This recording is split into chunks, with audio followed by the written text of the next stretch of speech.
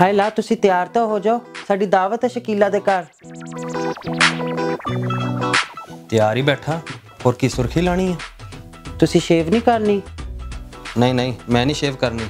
ਐਵੇਂ ਨਿੱਕਾ ਜਿਹਾ ਬੱਚਾ ਲੱਗਦਾ। ਨਾਲੇ ਤੂੰ ਵੀ ਤਾਂ ਦਾੜੀ ਰੱਖੀ ਹੋਈ ਆ।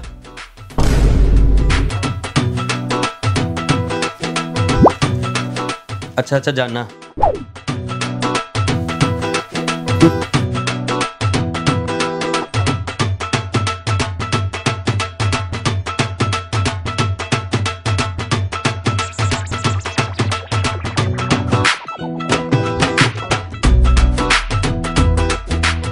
que dá.